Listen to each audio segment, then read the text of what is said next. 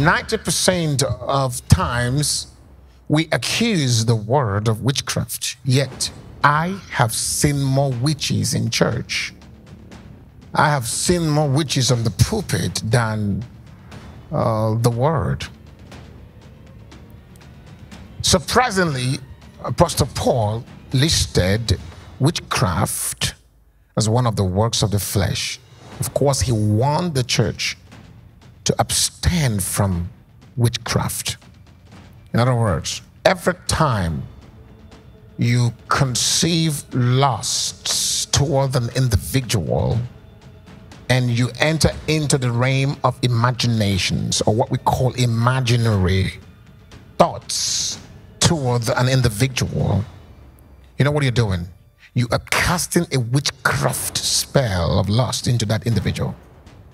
So, witchcraft is practiced in your imaginary abilities. You, you don't have to be initiated into a certain occultism to practice witchcraft. When you wished death to an individual mentally, you are projecting forces of death because we deployed spiritual powers through the gate of imaginations. Filthy imaginations, of course, unlock demonic portals to project, unleash, and deploy demonic spirits.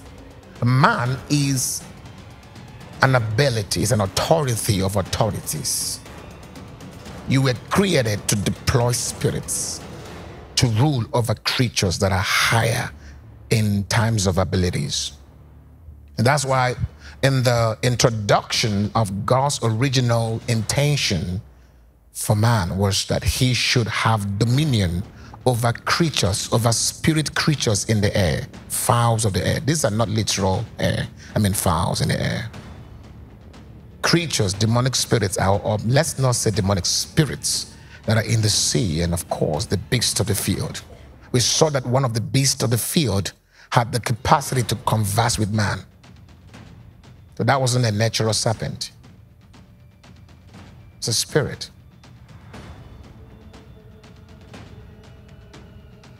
So spirit, spirits in the heavens are subject to our imaginations.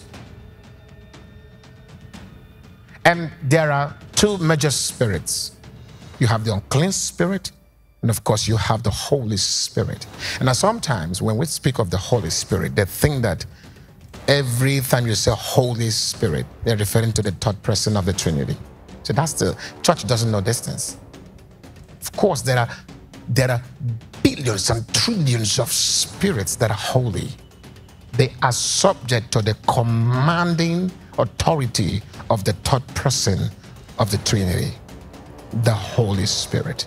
So that's what we call the Holy Spirit. The anytime, wherever you see this Spirit, is referring to the Holy Spirit. The Holy Spirit, the Holy, is referring to the third person of the Godhead.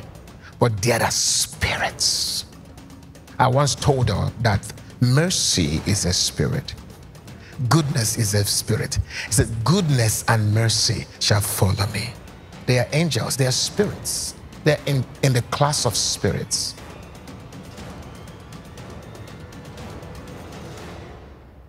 Faith is a spirit, the spirit of faith. Wisdom is a spirit. Understanding is a spirit. Mind is a spirit. Counsel is a spirit fear of God. There's a spirit that commands, that communicates the fear of God. You think that the spirit of wisdom is one? There are trillions of spirits of wisdom for the possession of God's people.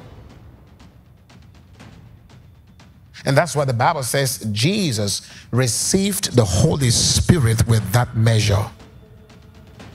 So there are measures of spirits.